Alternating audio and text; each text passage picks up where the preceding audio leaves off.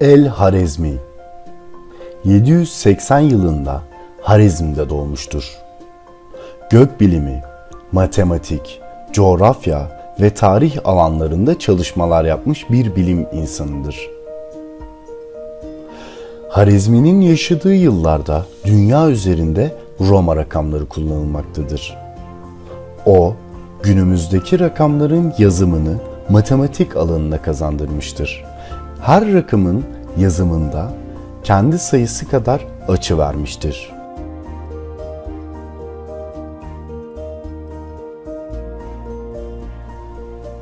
Harizmi dünyada cebiri ilk kez kullanan bilim insanı olarak tanınmaktadır.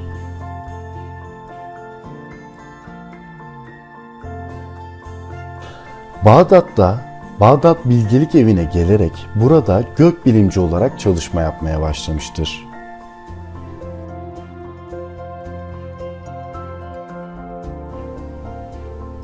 Harezmi bu çalışmalarının dışında 20 adet gökbilimi alanında eser kaleme almıştır.